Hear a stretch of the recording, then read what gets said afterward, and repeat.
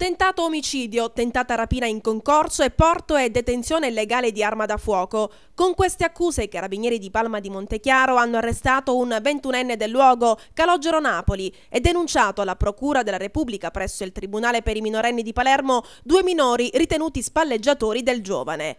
Napoli avrebbe tentato di rapinare un negozio di Comproro sito in via Fiorentino. Forse, non riuscendo a portare a termine il proprio intento, il giovane ha sparato un colpo di pistola contro la commessa che fortunatamente non è stata raggiunta dal proiettile, dandosi poi alla fuga a bordo di due scooter condotti da due minori. Sul posto si sono recati i carabinieri della locale stazione che hanno sin da subito avviato le indagini, rintracciando ed arrestando il ventunenne.